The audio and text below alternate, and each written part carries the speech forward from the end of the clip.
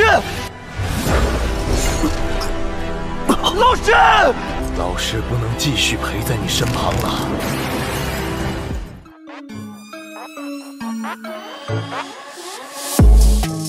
Halo para pecinta Battle Truth Heavens dimanapun kalian berada Gimana nih kabar para tetua yang selalu stay dan udah selalu meramaikan kolom komentar Udah siap kancut dengan perjalanan dari Mang Oyan. Gue bilang gak usah pakai lama-lama lagi. Kita kancutkan dan selamat berimajinasi.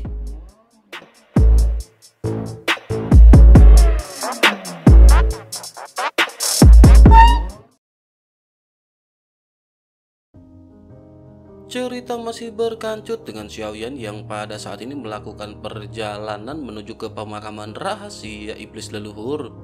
Namun bersamaan dengan hal tersebut, tak lama setelah Xiaoyan pergi, belasan sosok pada saat ini muncul di luar pulau iblis leluhur. Mereka terbagi menjadi beberapa kelompok dan terlihat jelas bahwa mereka berasal dari beberapa kekuatan. Dua kelompok pada saat ini saling berhadapan dan salah satu pemimpin dari kelompok segera berbicara. Sosoknya berteriak ke arah kelompok lainnya ketika bertanya siapakah yang telah mendapatkan batu jimat guntur. Menanggapi hal tersebut, kelompok yang tertuduh juga pada saat ini sedikit menyipitkan mata mereka. Pemimpin mereka berkata mungkinkah mereka dari klan guntur ajaib tidak memahaminya. Sejujurnya ia juga pada saat ini sangat penasaran dengan siapakah yang berhasil mendapatkan batu tersebut. Menanggapi apa yang dikatakan oleh kelompok ini, pemimpin dari klan Guntur Ajaib pun seketika kembali mulai berbicara. Sosoknya berkata sebaiknya mereka pada saat ini jangan banyak berbicara omong kosong. Jangan berpikir bahwa mereka akan bisa mengambil jimat batu guntur surgawi ini. Kedua belah pihak pada saat ini terlihat gontok-gontokan, tetapi sesungguhnya mereka memang tidak bisa memastikan siapakah yang mendapatkan batu guntur misterius ini. Terlebih lagi, mereka juga pada saat ini berpikir bahwa ada kekuatan lain selain kekuatan mereka. Dikhawatirkan jika mereka bertempur, mereka tidak akan mendapatkan keuntungan. Begitu mereka melemah, tentu saja kekuatan lain akan dengan cepat segera menyerang mereka. Keduanya pada akhirnya masih sama-sama terdiam seolah-olah masih berpikir apakah mereka harus bertempur atau tidak. Bersamaan dengan hal tersebut, tiba-tiba sesosok keluar dari pulau iblis leluhur. Sosok ini bergegas menuju ke klan Guntur ajaib dan ia segera menggumamkan beberapa kata kepada pemimpin mereka. Wajah sosok itu pun seketika berubah sebelum akhirnya tanpa ragu-ragu sosoknya langsung berteriak. Ia segera memerintahkan semua pasukannya untuk mengikutinya mengejar sosok yang dibicarakan. Sosoknya bahkan tidak memperhatikan orang-orang dari istana Feng Lei yang baru saja mereka hadapi. Mereka pada akhirnya berubah menjadi kilatan cahaya dan tersapu ke kejauhan. Arah yang mereka tuju juga tidak meninggalkan dunia besar 10.000 iblis, melainkan menuju ke bagian terdalam. Sementara itu kembali ke Xiaoyan yang pada saat ini tentu saja tidak mengetahui bahwa setelah Xiaoyan mengambil jimat batu misterius ini, Xiaoyan justru menimbulkan kecemburuan dan sekelompok pengejar dengan cepat mengejar Xiaoyan di belakangnya. Xiaoyan pada saat ini duduk dengan tenang di atas bahtera kecil dari rumah lelang 10.000 iblis Menurut informasinya, mereka masih membutuhkan sekitar beberapa tahun untuk bisa sampai ke tempat tersebut. Mereka juga akan melewati kota besar dan mereka bisa meluangkan waktu untuk menikmati pemandangan di sekitar. Pada akhirnya Xiaoyan pun memberitahukan rencananya kepada semua orang. Tentu saja Xia Zhenghui pada saat ini sangat setuju jika mereka harus mampir untuk beberapa saat. Menyadari hal tersebut, Xiaoyan pun pada saat ini sedikit terkejut. Xiaoyan pada saat ini bisa merasakan bahwa kekuatan Xia Zhenghui kembali meningkat. Xiaoyan pada akhirnya segera bertanya apakah Xia Zhenghui telah membuat terobosan. Xia Zhenghui pun mengangguk sementara Xiaoyan pada saat ini sedikit mengangkat alisnya. Xiaoyan berpikir bahwa kultivasi dari Xia Zhenghui ini benar-benar tidak lazim. Xiaoyan pada akhirnya bertanya apakah Xia Zhenghui berkultivasi menggunakan kerang. Menanggapi hal tersebut, Xia Zhenghui pun sedikit tersenyum sebelum akhirnya berkata dengan penuh semangat. Xia Zhenghui berkata bahwa sesungguhnya bukan itulah permasalahannya. Ia hanya membiarkan mereka semua memasuki ilusi yang dibuat oleh Xia Zhenghui. Xia Zhenghui pada akhirnya menghancurkan mereka di dalam ilusi karena ilusi itu sendiri adalah tempat yang sangat baik untuk berkultivasi. Setelah jangka waktu ini, pada akhirnya pemahaman dari Xia Zhenghui pun semakin mendalam.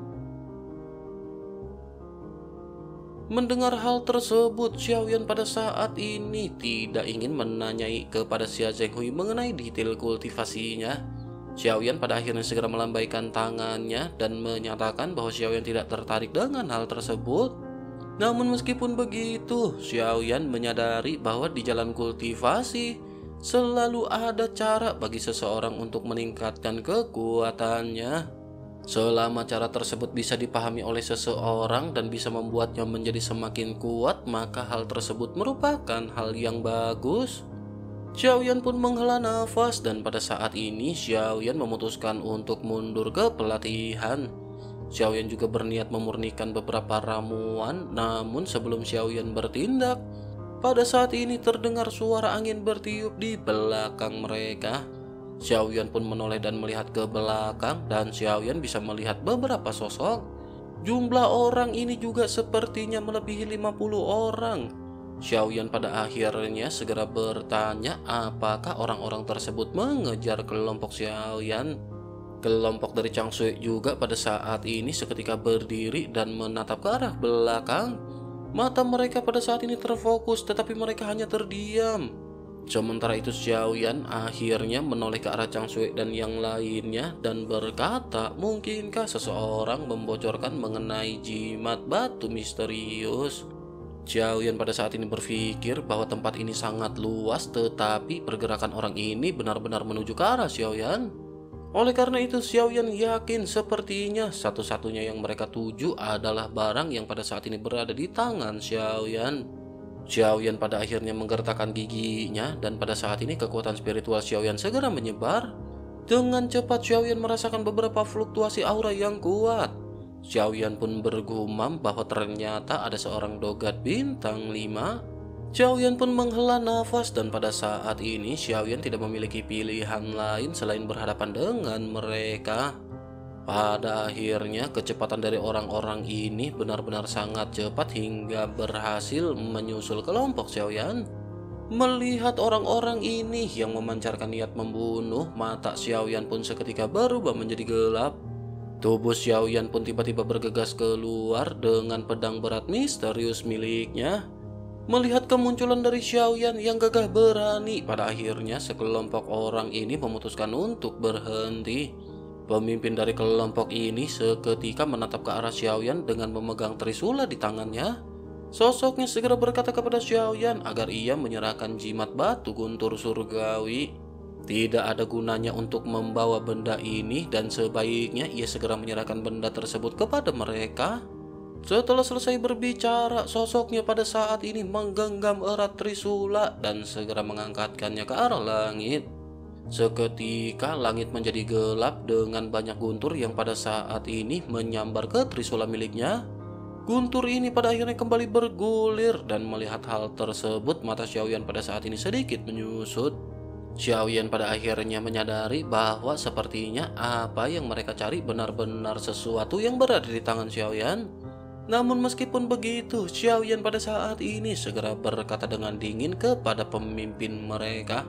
Xiaoyan berkata bahwa ia benar-benar terlihat terlalu sombong. Begitu Xiaoyan selesai berbicara, api dari pedang berat misterius pun seketika menjadi lebih kuat. Pada saat yang sama, kekuatan guntur juga melintas di lengan Xiaoyan dan ledakan yang kuat seketika menyebar. Melihat kekuatan yang ditampilkan oleh Xiaoyan ini, pemimpin dari kelompok ini pun seketika sedikit tersenyum. Sosoknya berkata bahwa seorang kultivator petir biasa saja benar-benar berani berlaga di hadapannya. Izinkan pada saat ini ia memberitahu kepadanya kekuatan sejati dari Guntur. Bersamaan dengan perkataannya yang terjatuh pada saat ini di antara awan yang gelap dan tebal di langit, petir membumbung dan menghantam ke arah trisulanya yang ia angkat tinggi-tinggi. Semua origin ki yang sangat besar di tubuhnya juga seketika berubah menjadi kekuatan guntur.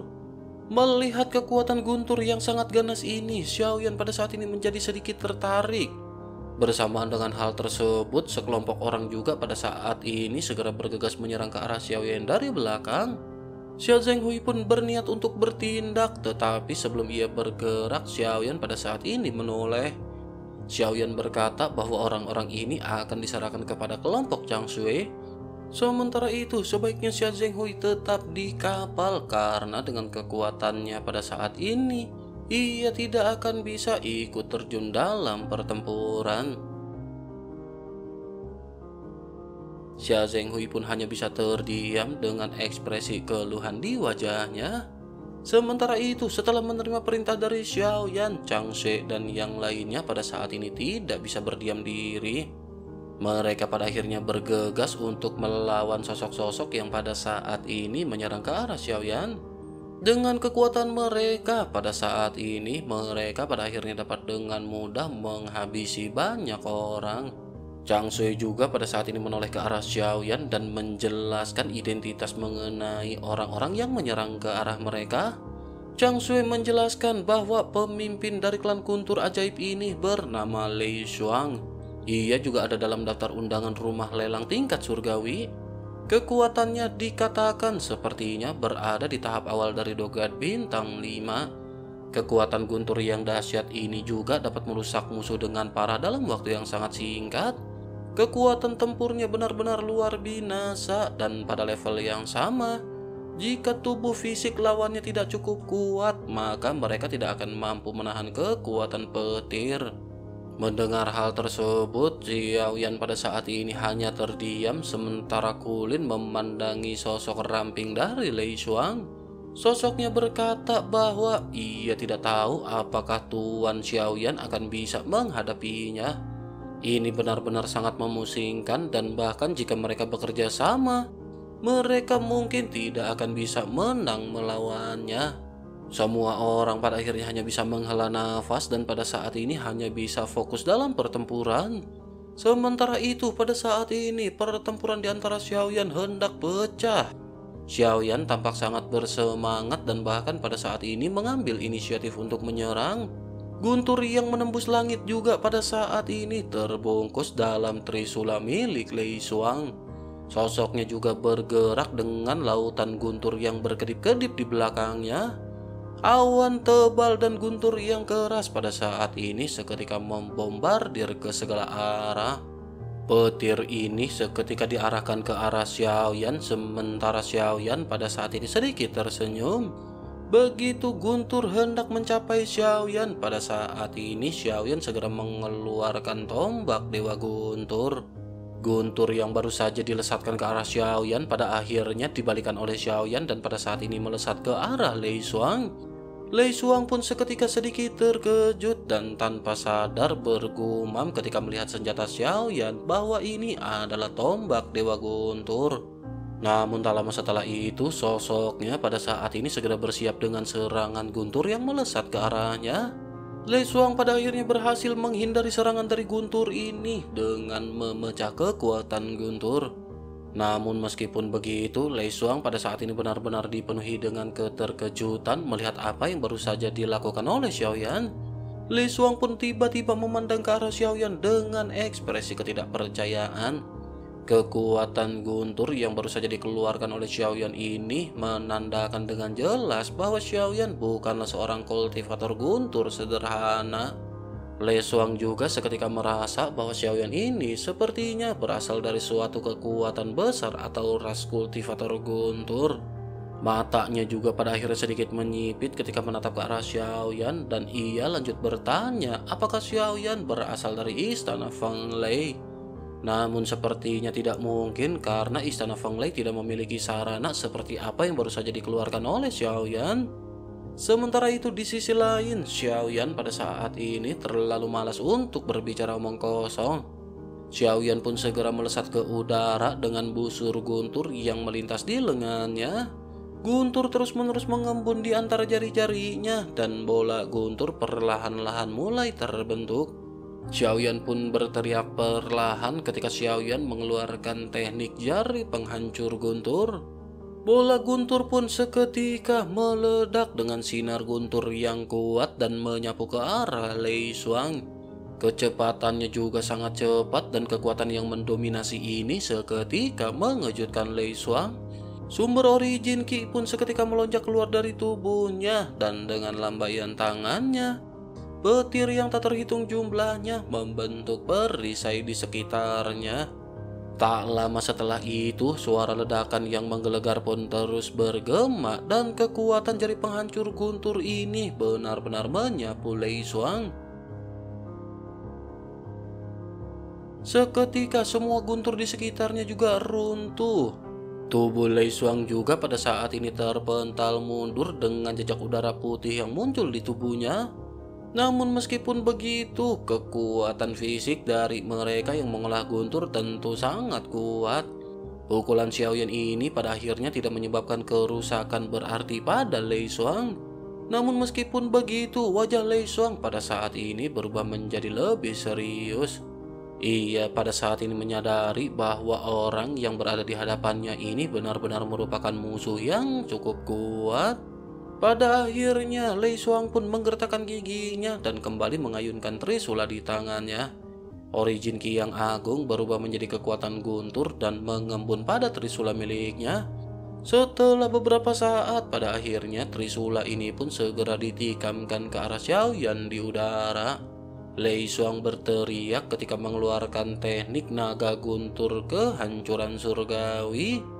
Kekuatan guntur yang terkumpul di dalam tombak dari Lei Xuang pada saat ini mengalir seketika. Guntur yang terjalin ini juga berubah menjadi naga guntur setinggi 100 meter yang meraung ke arah Xiaoyan. Sementara itu di sisi lain Xiaoyan pada saat ini juga bersiap Xiaoyan berniat menggunakan kekuatan dari tinju api Fearless dengan tambahan lengan penghancur dewa. Kekuatan fisik Xiaoyan pada saat ini telah meningkat dan dengan hal tersebut, tentu saja kekuatan dari ledakan serangan Xiaoyan akan meningkat. Namun Xiaoyan pada saat ini juga bereksperimen dengan rencana untuk menggunakan lautan guntur seluas 2000 meter Kekuatan ini akan dicampur dengan tinju api Fearless. Ditambah dengan hal tersebut, tentu saja serangan ini benar-benar akan sangat mematikan. Xiaoyan pada akhirnya tanpa ragu-ragu segera melonjakkan api dan guntur yang dengan cepat terjalin. Kekuatan dahsyat ini juga seketika mengembun di lengan Xiaoyan dan Xiaoyan pada saat ini melesat. Sementara itu di sisi lain, naga petir besar benar-benar meraung ke arah Xiaoyan dan langsung menenggelamkan tubuh Xiaoyan. Melihat hal tersebut, Chang Sui dan yang lainnya pada saat ini benar-benar terjekut. Mereka dapat dengan jelas merasakan tekanan yang datang dari serangan Lei Xuan. Mereka semuanya tampak murung melihat Xiaoyan yang pada saat ini tampak ditelan oleh naga guntur. Di tengah-tengah bentrokan kedua belah pihak pada saat ini, Kulin pada akhirnya kembali mulai berbicara. Kulin berkata sepertinya kedua belah pihak terlihat seimbang. Seharusnya tidak ada banyak perbedaan dalam hal kekuatan di dalam pertempuran ini. Menanggapi hal tersebut, Chang Sui pun menggelengkan kelapanya dan pada saat ini menyipitkan matanya ke arah pusat benturan. Sosoknya berkata bahwa apa yang dikatakan oleh Kulin tidak benar. Sumber fluktuasi energi yang dipancarkan oleh Tuan Xiaoyan itu seharusnya berasal dari seorang dogat bintang 4. Namun ia pada saat ini tidak mengetahui dengan jelas apakah ia berada di tahap menengah atau akhir dogat bintang 4. Tetapi yang dapat terlihat dengan jelas auranya tidak setinggi dari seorang dogat bintang 5. Mendengar hal tersebut, Duan Zuo pada saat ini juga melihat ke arah Xiaoyan dengan penuh kekhawatiran. Sosoknya lanjut berkata, jika kekuatan Lei Song berada di dogat bintang 5, bukankah ia akan dapat dengan mudah menghancurkan Xiaoyan ini? Mendengar hal tersebut, Su Zizai yang biasanya tidak berbicara banyak omong kosong pada saat ini mulai angkat suara. Ia berkata bahwa dalam pertempuran ini masih belum bisa dipastikan semuanya.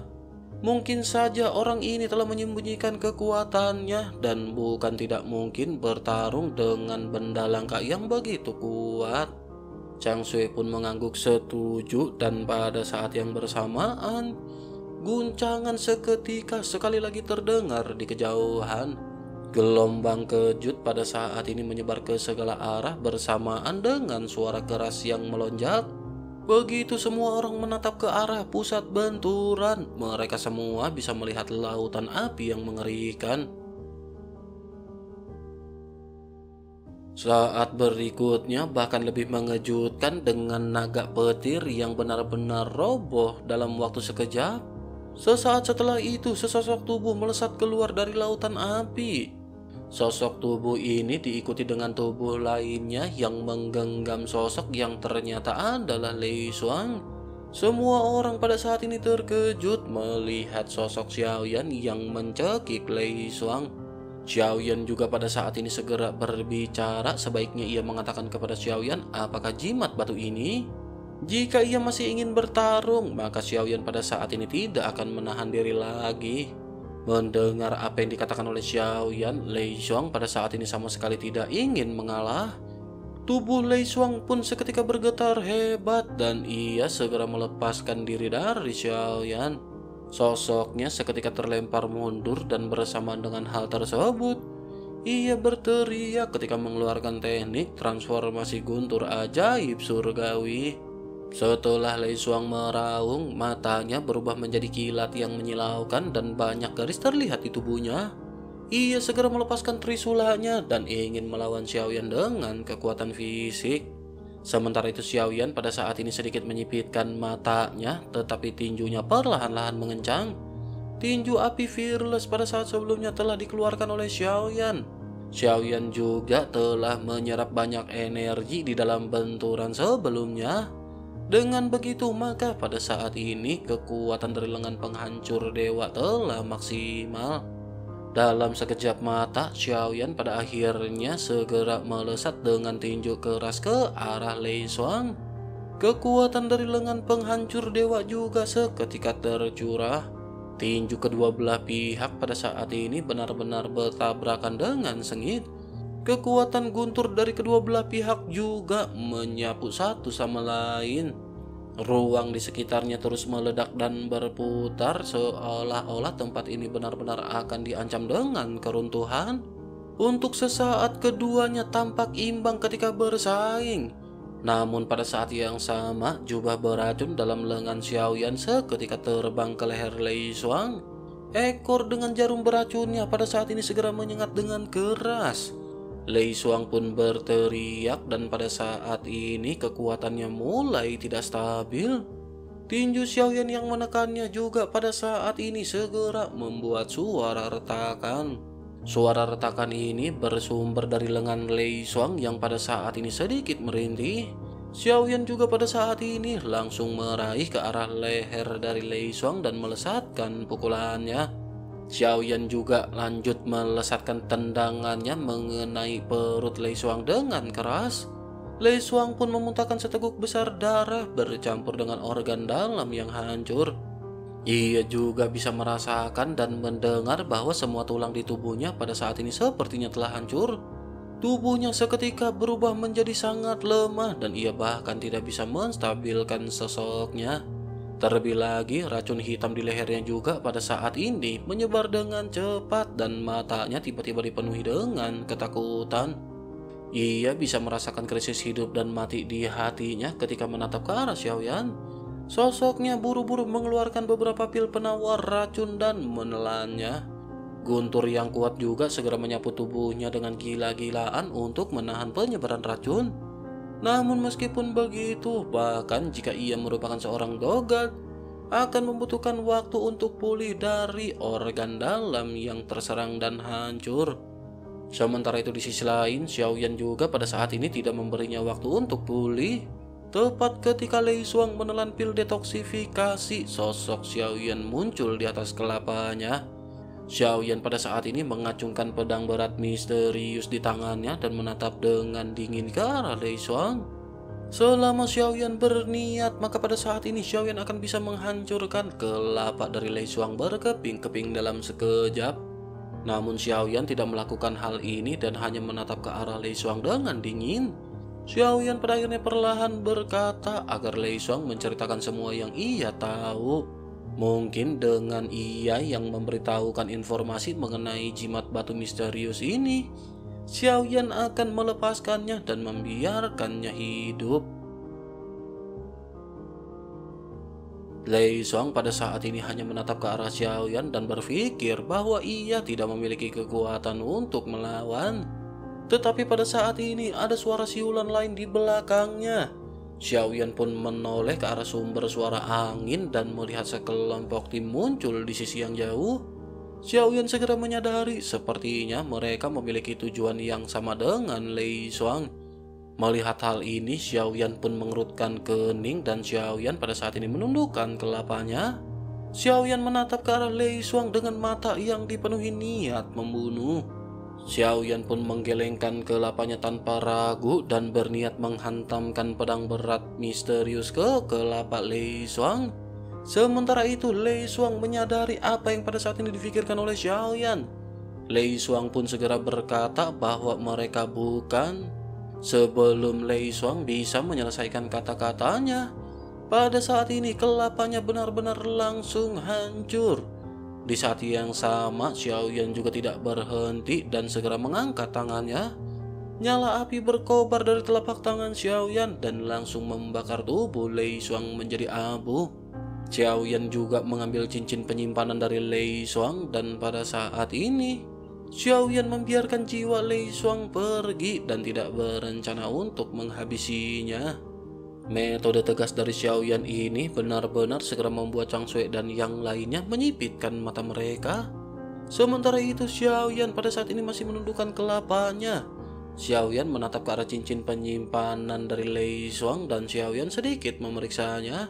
Xiaoyan pun terkejut menemukan bahwa isinya benar-benar luar binasa dengan total 700 juta pil origin Ki. Tiba-tiba seberkas cahaya melintas di mata Xiaoyan dan perlahan mengangkat kelapanya menatap ke arah sosok yang mendekat dari kejauhan. Xiaoyan pada akhirnya bergumam sepertinya utang Xiaoyan akan segera bisa dilunasi. Sementara itu di sisi lain setelah melihat kematian dari pemimpin mereka, Puluhan anggota dari klan Guntur Ajaib mundur satu demi satu dengan cepat. Mereka pada saat ini bahkan tidak menoleh ketika melintasi orang-orang dari kuil Feng Lei. Melihat banyak anggota dari klan Guntur Ajaib yang pada saat ini berhamburan. Orang-orang dari istana Feng Lei juga pada saat ini menunjukkan ekspresi keraguan-raguan Pria yang memimpin kelompok juga pada saat ini mendengus dingin dan bergumam sepertinya Lei Xuang telah gagal. Namun mengingat kekuatan yang ia miliki, bagaimana mungkin ia bisa dibunuh dengan mudah? Mendengar hal tersebut, salah seorang di belakangnya juga pada saat ini segera mengkonfirmasi hal tersebut. Sosoknya berkata kepada pemimpin mereka yang bernama Wei King, ia menjelaskan bahwa sepertinya Lei Xuang juga tidak terlihat ketika klan Guntur Ajaib melarikan diri. Mungkin saja dugaan dari Tuan Wei King benar di mana Lei Xuang sepertinya telah terbunuh. Mendengar hal tersebut, Wei King pun sedikit menyipitkan matanya dan berkata seharusnya itu tidak mungkin. Namun jika melihat dari cara klan mereka yang melarikan diri barusan, Hal itu terlihat sangat memalukan dan kemungkinan ini juga bisa terjadi. Beberapa orang di belakang Wei King pada saat ini mengangguk berulang kali menyetujui apa yang dikatakan oleh Wei King. Mereka pada saat ini berada kurang dari 200 meter dari posisi Xiaoyan. Wei King yang hendak mendekat juga pada saat ini tiba-tiba membuat gerakan berhenti dan semua orang langsung berhenti di tempat. Wei King pada saat ini berpikir jika Lei Song benar-benar terbunuh, maka kekuatannya pasti akan berada di atas bintang 5. Wei King dan Lei Song telah bertarung satu sama lain dan keduanya berimbang untuk waktu yang tidak diketahui. Tidak ada di antara kedua belah pihak yang bisa saling menjatuhkan. Oleh karena itu, jika Lei Xuang terbunuh, dapat dikatakan Wei King juga akan dapat dengan mudah dihabisi. Wei King pada akhirnya dipenuhi dengan keraguan-raguan dan pada saat ini hanya bisa memandang ke arah sosok Xiaoyan di kejauhan. Xiaoyan juga di kejauhan pada saat ini tiba-tiba menatap ke arah sekelompok orang-orang yang berhenti. Xiaoyan mengangkat alisnya dan pada saat ini bertanya-tanya mengapa mereka begitu takut untuk mendekat. Xiaoyan pada saat ini berpikir bahwa Xiaoyan benar-benar sangat senang menghabisi mereka. Dengan begitu, maka Xiaoyan juga akan bisa mendapatkan kekayaan dan Xiaoyan tidak bisa membiarkan hal tersebut menghilang. Xiaoyan pada akhirnya bergumam bahwa mereka tidak bisa membiarkan orang-orang ini melarikan diri. Seharusnya mereka memiliki banyak pil origin ki di tangan mereka dan hal tersebut akan menjadi milik Xiaoyan. Xiaoyan akan memanfaatkan mereka untuk bisa membayar hutang-hutangnya. Xiaoyan pada akhirnya berinisiatif untuk memancarkan aura dari dogat bintang 4 tingkat menengah miliknya. Ini adalah satu-satunya cara untuk membuat mereka mengendurkan kewaspadaan. Apa yang diharapkan oleh Xiaoyan ini memang benar karena Wei King tiba-tiba mengangkat kelapanya menatap ke arah Xiaoyan di sisi yang jauh. Ia merasakan aura dari dogat bintang 4 milik Xiaoyan. Ia berpikir bahwa seorang dogat bintang 4 memiliki lautan bintang yang lebih sedikit daripada dogat bintang 5. Terlebih lagi setelah pertempurannya dengan Lei Xuang, tentu saja kekuatannya akan terkuras. Sepertinya ini juga merupakan momen yang baik baginya untuk menyerang orang tersebut. Sementara itu di sisi lain, sosok Xiaoyan pada saat ini berpura-pura berbalik dan kembali ke Bahtera. Xiaoyan berpura-pura berniat melarikan diri dan melihat hal tersebut. Mata Wei King tiba-tiba menyipit dan ia semakin yakin untuk menyerang. Pada akhirnya mata Wei King tiba-tiba menunjukkan sedikit tekad dan ia lanjut bergumam.